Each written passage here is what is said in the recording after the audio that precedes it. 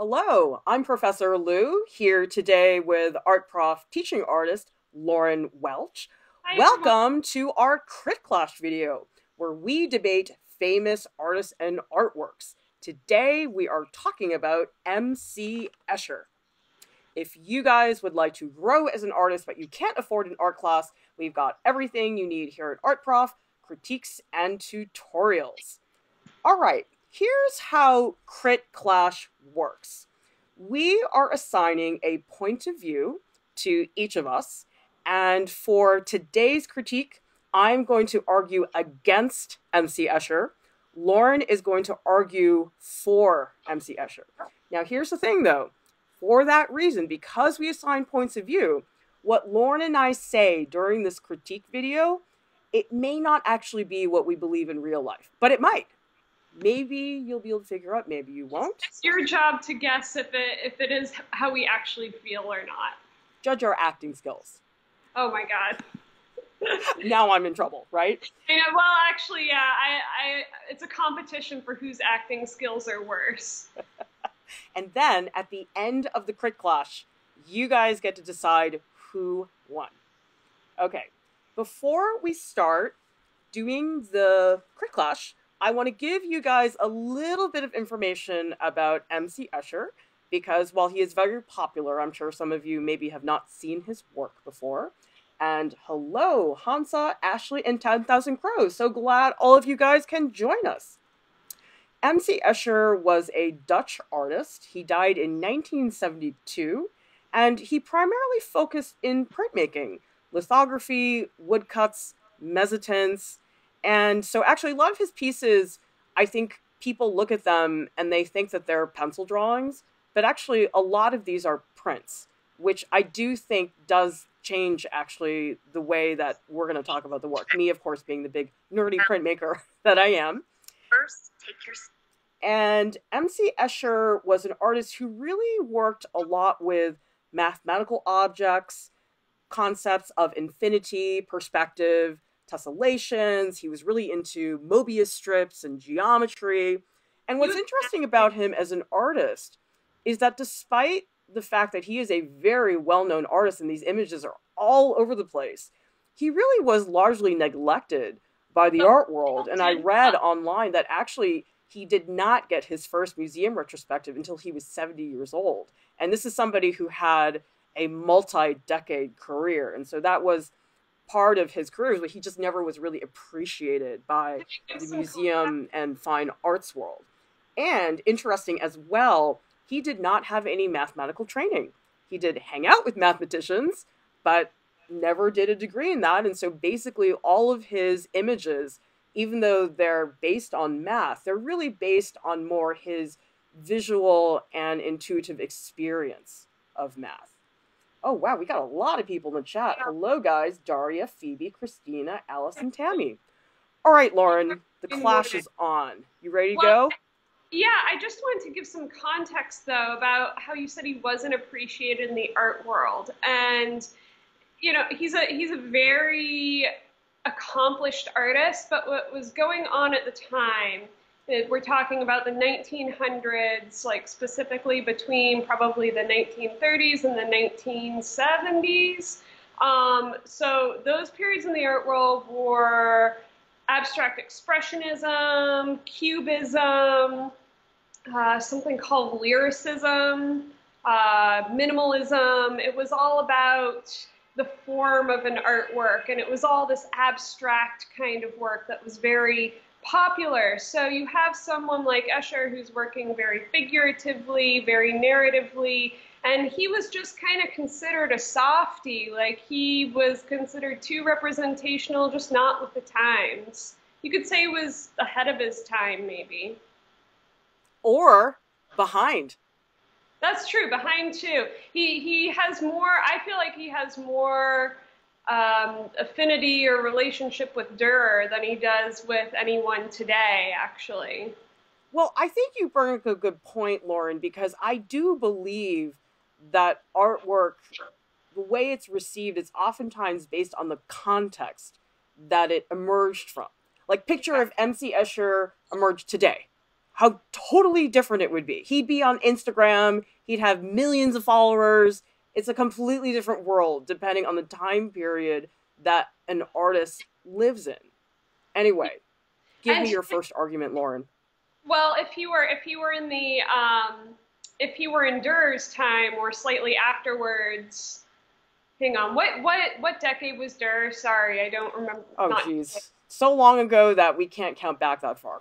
well, yeah. So if I mean, if MC Escher was like too far back, they would have he would have probably gotten thrown in jail or something for witchcraft because having that level of perspective and geometry was seen as like the devil's work. Like you don't want to do that. So yeah, you're right. It's really important about being uh, born in the right place at the right time. But anyway, I feel like his work kind of transcends that. I want to see how he does in like a hundred years from now because what I think is really cool about Escher is that he has both this technical skill that is really easy to digest. Like you can tell that it is very difficult to make these, and I spent a lot of time on the detail. But then he also has this really like narrative beauty to things. He, he fits into the to the wallpapering kind of pattern movement, textile stuff, but then he's also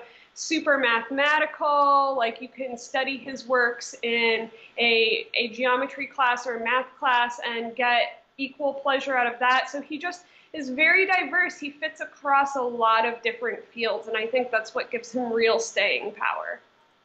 See, I don't think so. Because he's a gimmick artist. Every single one of these pieces is like, look at this cute math trick I can do. Wow, these patterns fit together. Aren't you proud of me? And the thing is, once you figure that out, there's not a lot going on. Like, once you realize looking at this image of these ants on a Mobius strip and you realize, oh, it's a Mobius strip, then what do you do? I don't need to look at this beyond that first recognition. Well, one, have you tried to make one of these before, Clara? I think you're doing it a disservice. It's not just like, oh, I'm I'm making a mathy thing. Like one of the reasons that he's his work is so big is that there wasn't a lot of work that was like that before then. Like he has these this relationship with like the Mandelbrot series and things like Infinity that are actually really like it's really amazing that he has that capacity to be able to do all this without using actual math because most people that i see that do do this kind of work have to really study it out. Like i had to learn tessellations in my foundations class and that was all just trying to draw like you know measure things out. Like it was not a super artistic task. So i think that can you call it a gimmick if it's like your whole like life's work to develop that skill just because it took a lifetime to do doesn't mean it has a lot of depth. I mean, you can spend your whole life doing dumb things and it's not necessarily going to pan out as being something really good because these are technically accomplished pieces. As a big nerdy printmaker, I can tell you guys, lithography is really hard to do. I think a lot of people look at these, they go, oh, what nice pencil drawings. But they're not pencil drawings. Lithography is very time intensive. It requires a lot of focus and concentration just to do it correctly, much less well. So I admire that part of it. But the thing is, though, look at this picture. Okay, we have these two hands, and you think, oh, the hand is drawing the other hand. Which hand drew it first? It's like chicken and the egg. Which came first, the chicken or the egg? And what are you going to do? Sit and ponder that for an hour? People do that. I mean, he uses these motifs that then other people have used over and over and over. For instance, think of the one of the self-portrait looking through the, the glass. So it's like he has a really tiny face, the orb one. Um, I have seen so many artists then riff off of that later. And I think the critique that you have – I mean, you could you could really take that and put that on like a lot of different artists. I mean, you could say that for Pollock, for instance, like he just he threw paint across a canvas in a very active way. Like, yeah, that style is really cool, and I guess you can talk about maybe some uh, like you know, this man that is is uh, taking over the canvas like someone takes over land, but like is there really actually that much else to it? And they all kind of relatively look the same. Like i think when when you use that argument that you're using you're on a slippery slope to just bleaching out the the value of any art or any artist. See that's not going to work lauren because i am not a jackson pollock fan. All right in the chat you guys tell us do you like mc escher? Do you appreciate him? Or do you think he's a one hit wonder. Because that's what I feel looking at his work is that we're looking at one offs. And I think that a really amazing artist who can stand the test of time should have a feeling of cohesion, some underlying themes that they are exploring to a very deep level. This feels like a TV show that has no continuity. It's like every single episode is just, oh, something different happens. But it doesn't really that. come together as a mature body of work. I mean, yeah, you could say it's math related, but I mean, that's pretty broad, that. don't you think? I think that, I mean, one of the reasons why I love him is because he does some I mean, he references a lot of his patterns and geometries from nature. He was a real like nature enthusiast and had a lot of um, thoughts about conservation and things. So um, it, he does these fish and these swans and these birds, and he really studies these insects and all these different animals that he's working with. I think that there is like a real level of research to his work. He's just interested in that particular thing rather than like say work about like I don't know like uh, mental health or um, you know wars and politics, and I think that that work can also be valid. Let's see. In the chat, Erica is saying, I think he's technically accomplished, but there's a lack of emotional content I take issue with. Exactly. All right. I, thank you very much, Erica. I'm going to jump right on top of that.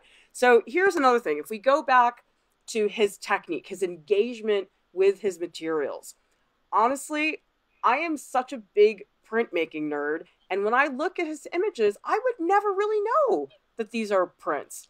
And that sort of bothers me that when you look at this drawing that he did of this street in Italy, okay, this totally could just be a pencil drawing. He's not really harnessing the unique qualities that you can get from a lithograph or that you can get from a mezzotint or a woodcut. This is just basically fancier looking pencil drawings and i i just don't think that that's that exciting like why are you going to bother to do all the work there is to do to make a lithograph when in the end it just looks like a pencil drawing like that's such a waste to me as far as the engagement of the material I think, okay, so two points. The first one relating to um, the emotionalness of the work. I just want to know where, or the emotionlessness of the work. I want to know where that is coming from. Is, is it a result of the technique? And are you looking for more, uh, I'm going to call it, yeah, lyrical mark making, uh, where you can see the hand? Because um, I would, all, or are you looking for an organicness? Because I would also like to mention a couple other artists that kind of fall within his uh, family, art family, maybe. Uh, one of them is contemporary artist uh, Noka Faruqi. Um, she also works with lots of tessellation. She's a painter and moire stuff that reminds me a lot of Escher's work. Um, but then there's also William Morris, who is best known. He did some painting stuff, but he's best known for his um, his wallpapers. And there are people that are just obsessed with that, like like uh, you know people in the art world that are obsessed with that work and have like referenced it incessantly. But still, it falls within the same kind of like making something that's very technically managed and turning it into this like like very graphic work. So what is what qualities make his work different and not accepted over like these other artists that are thought of as pretty um, emotional or delightful or intriguing. I mean, I think there's a big difference between an artwork that's created in the context to be wallpaper versus a standalone print or drawing that we're looking at by Escher. Because with wallpaper, there's a very specific context that that work is intended to live within and we engage with it completely differently than how we engage with this image of the ants. And so I don't know that we can put them in the same context because I think wallpaper is all about pattern and all about repetition. But to me, Escher isn't really either. It's sort of like this bland mix, like a little bit of everything. okay, like- let's see. We got a lot of activity in the chat. This, let's see. Alice is saying, kind of like Bob Ross, seems kind of cool, but later it becomes easily boring. And Cheyenne is saying a start to patterns and illusions, but I think other artists have made patterns and illusions way more interesting and full of emotion. And Phoebe saying it's fun to look at this work, how it connects with math visually, but I agree with Erica that's not a deeper meaning to it like some other works. Okay, Ashley's on your side, Lauren. Ashley is saying, I find his work mesmerizing. And James is saying, Did he ever claim to be anything special? Did he ever claim to be producing anything more than mathematical art? James, I'm not sure about that. I'd have to go back and do some research. If one of you wants to get online and be one of our personal researchers, you guys are all very good doing lots of detective work. Yeah, you guys are what bring this crit alive, like the past ones of, oh my god, the things we found out through you guys. But so let's talk about the lack of emotional connection because I think that yes, his work is pristine and very very detailed. In fact, there's this whole like conversation that has exploded on our most popular video about the meaning of technical skill and what's its role for an art student versus a professional. If you guys want to go check it out, just go look at our top video. There's wow, there's a lot of comments about that. But I sort of feel like I'm going to use the point of view that I used in that video commentary, which is that, yeah, it's detailed, but it's so clinical. Like, there's nothing that I can respond to emotionally. And it, it's sort of like if you watched a film that was like technically really well executed, but you don't care about the characters. Like, you could care less if one of them died. That's how I feel about the Escher pieces. I think that you are partial to a particular style, is what I think. I, yeah, those are some fighting words, right? They um, are. I, I think that I'm in a class right now that talks a lot about um, the the content and the separating style from content and having uh, your it's not really totally about this, but I've been thinking a lot about how the style is supposed to serve the content. And so I think what he is primarily interested in is the way these tessellations and mathematics and ways of seeing can be flipped together and changed and yeah like the image of the uh, staircases. Like he's interested in these impossible modes of perception which i feel like would not work if he tried to if he decided to make them more i'm going to say expressionistic and i maybe you guys will understand what i'm i'm meaning there um, i think the the nature of it, its exactness is partly what makes the work so easy to fall into and to be mesmerized by. And uh, like it wouldn't be anything without the mathematics and exactitude behind it. Here's the thing though. We have somebody who I think is better than MC Escher in every way, and who also drew staircases and also was a printmaker. Okay. Guys, Piranesi, come on, all the way. This, this is everything that MC Escher, or at least that Lauren is claiming MC Escher is good at, and does it so much better. Okay, so we have the impossible structures, we have the perspective, the use of architecture, but we also have printmaking, and that these look like prints. Like these really exert the feel and tactility of a line etching, but these are emotional prints. Those yeah. of you guys in the chat, tell me whether you get an emotional connection to Piranesi's prints or not. Okay.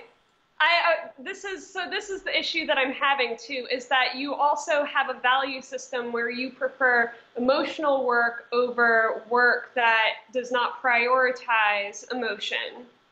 And that that is that is a bias you are a narrative artist. You work in series that are about emotion, literally about emotion. So, of course, you would be drawn to something that shows this more moodiness that uh, you like to see in your own studio practice.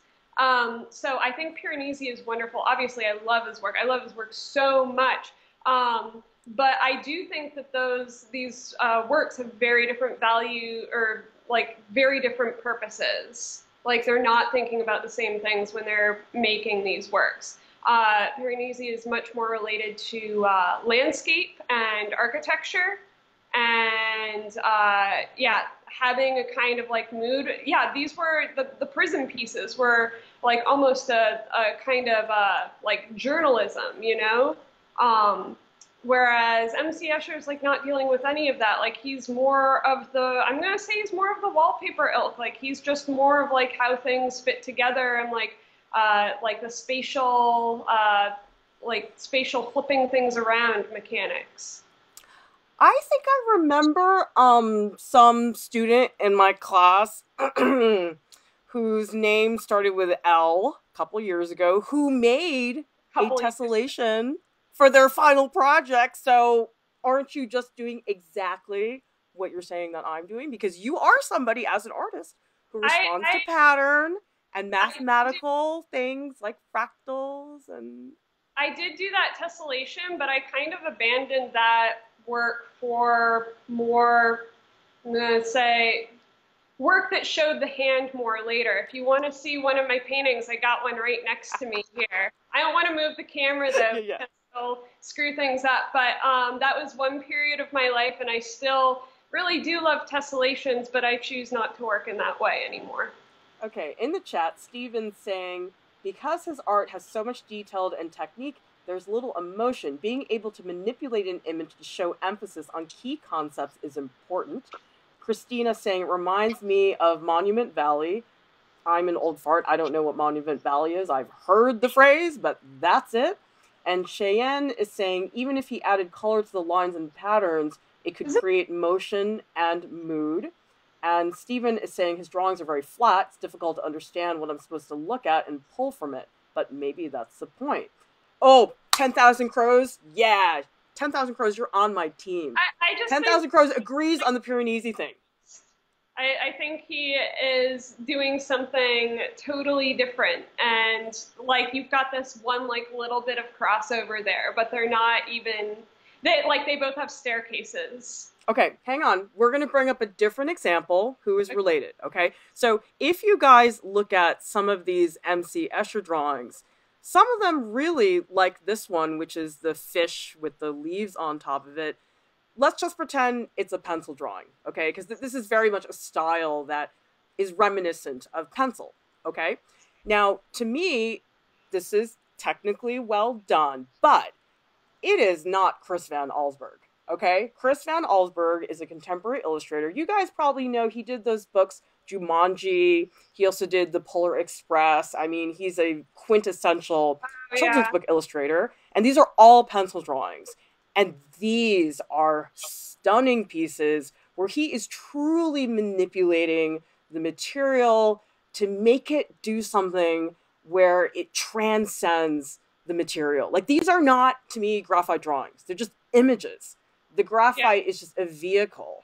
Whereas I feel like with Escher, he's so clinical and just clean about it and again, clean and precise and detailed, that does not make a good artwork necessarily. The, the, but again, the purposes of the artwork are different. Like you just said that, um, I forgot his name, Chris Van, Van Allsburg. Allsburg.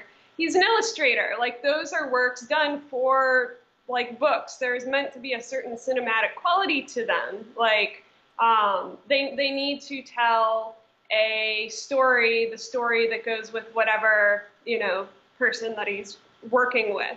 And that, again, is not, you can't really compare that with, say, um, uh, Escher's like last um, creation called Snakes, which is using hyperbolic uh, tessellation, going from like these very large things to these tiny, tiny little fractal type pieces. Another artist that I would like to bring up that's within Escher's uh, group is Colin Prowl, who's a graduate from RISD back in, I don't know, 20, 2012 maybe. Uh, but you can, we can link them later in this. But again, it's like more to do with this mathematical uh, fractalism. And you know, math is a little bit cold. Like that's just how it is. Like this other guy doesn't do anything with math. Again, I think it's just like this prioritization of narrative over uh, geometry or like graphic design or something like that.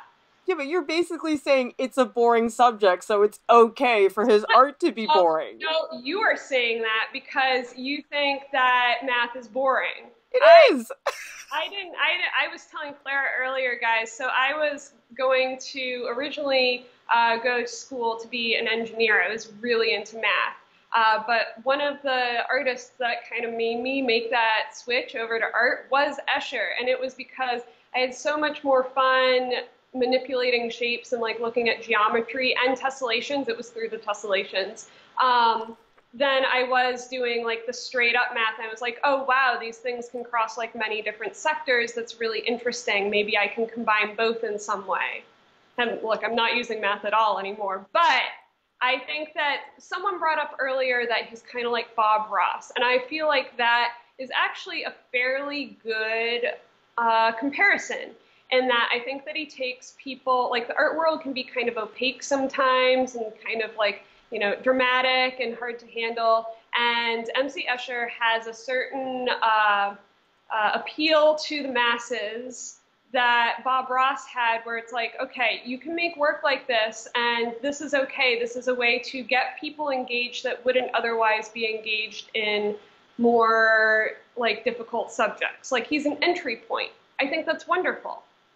Well, Ashley is actually going to use your argument against you because Ashley's saying in the chat, I don't feel any emotion. I just remember his drawings from math and geometry classrooms. so he's basically just this that. cliche because he was on the cover of that book called Gödel. Oh no, he was in the book Gödel, Escher, and Bach. I don't know if you guys have ever read that book before. I have not, but it's in our living room. I think my husband read it. But basically, he's just like a math poster. I mean, there's not a lot going on beyond that, right? Poster is super cool. Like, so I saw the fish turn into birds one. That was the first one I saw. And then in this was in eighth grade, we had to do a project that was like kind of like that. And I just like turned it into a nutso thing. Like I, I made a tessellation that was a turkey, and then I colored every single turkey as a different, like, themed turkey. Oh my god, it was the most fun I'd ever had on a project, and it was a math project. Well, I saw MC Escher, and it did not help me in high school math class. I can tell you that. It did not inspire me in any way. I do want to bring up another example sure. of somebody who uses similar themes. Well, not not a person, actually a, a genre of architecture, which is if you look at a lot of the mosques in across the world, a lot of them have amazing oh, tessellations yeah. and patterns that just blow your mind. Okay, now these buildings, I have never been to this mosque before. It's Iran, but the thing is, I have been in lots of architecture in Europe, like for example St. Mark's in Venice, and I'm not religious, but those patterns affect you emotionally. Like, how do you explain why a vaulted ceiling in a Gothic cathedral in France, why would that make you emotional? Like, that's about as cold and as mathematical as it gets because you're building something that has to not fall down. Yeah. But I feel emotional. I think part of that, it's especially interesting with, um, yeah, like Islamic architecture and I would also add to that, there are some really great examples of that in uh, both Wales and, um, or like uh, England, UK, and in Italy, um, where you have this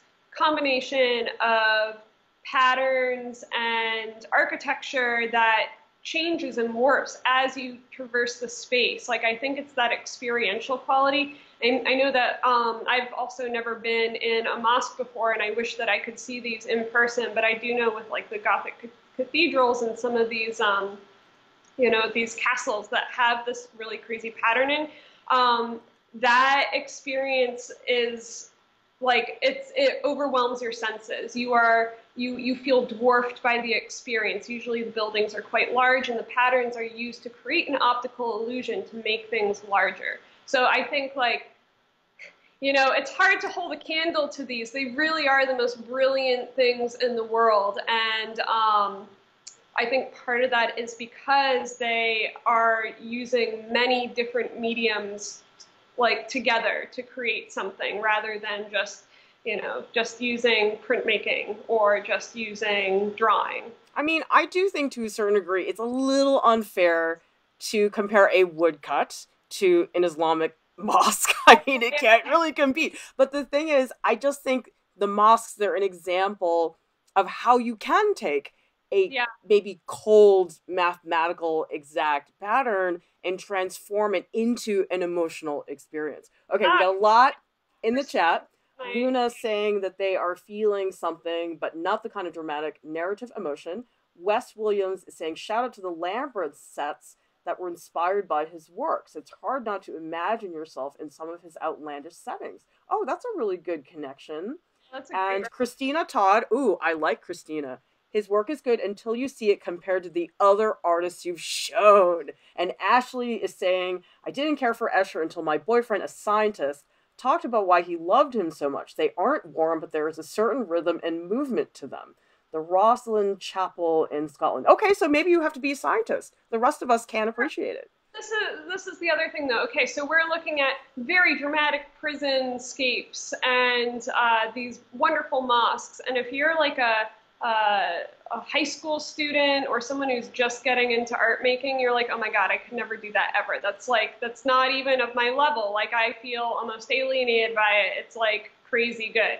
And then you see an Escher and you're like, oh, okay, so this is how this starts. I could figure this out. Like, I think he's like great as like, you know, encouragement to people to actually go in and try something with, you know, try their hand at art making who would otherwise feel like they couldn't do any of that. And that's a reason why you see so much of his artwork copied by, you know, artists of all ages and posted onto Instagram.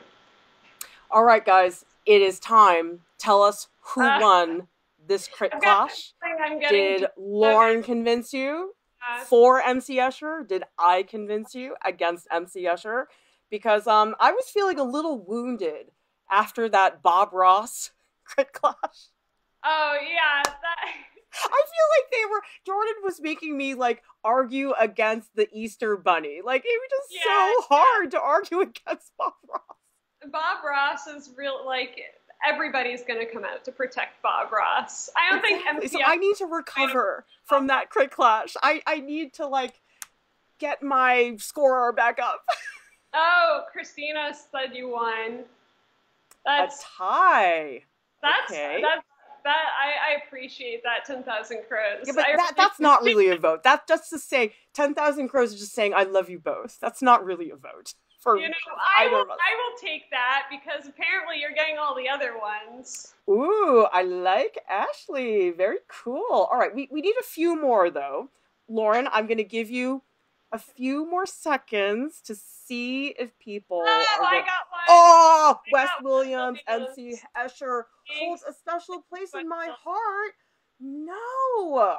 Yeah. Okay, yeah. some of you guys must not have MC oh, Escher in your heart. Maybe he's like deep Tammy. down in the center of the earth or something. Right now we're all tied up. wait, Tammy's gonna go with Lauren. Uh, yeah, yeah. Oh no! Wait, wait, wait. Th- that means it's tied. Oh, and wait, what? No, Luna. Um, for all of you guys that do like MC Escher, there is a great book. I can see it from across the room from me. It's called Codex Seraphinius or Seraphanus.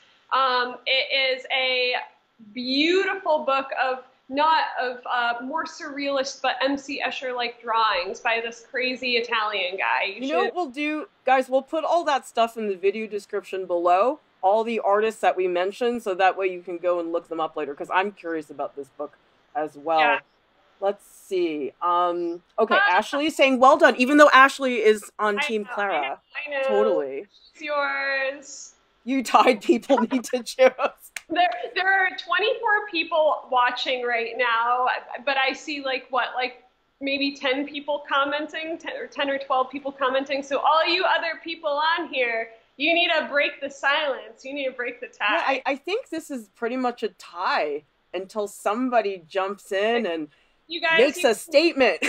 in the comments afterwards, like yeah, and and by the way, if you guys missed the live stream, you can tell us in the comments who you think, and then Lauren, we'll have a real, a real battle, one that's actually fair. Because we can't do this, guys. I need to like get my ego back. I was so bruised by Jordan, and I'm so sad about that. anyway, guys. What? No! No, Jamie. Thanks, Jamie. Clara, you're going I don't like you guys anymore. oh my goodness. Anyway, guys, I hope that you'll explore some of our other Crit Clash videos and also some of our free resources on our main site, artprof.org, and that if you like our channel, you subscribe and ring the bell to get notifications. And again, thank you so much to our top Patreon supporters. You guys keep us up and running. And thank you so much to all of you guys who came into the chat, except for those of you who voted against me. I don't like you anymore. We have, We're we not have friends. several more people Jamie, Dolores, and Julia um, all commented. Oh, wait. Yeah. Anyway, guys, thank you so much. We will see you next time. Bye.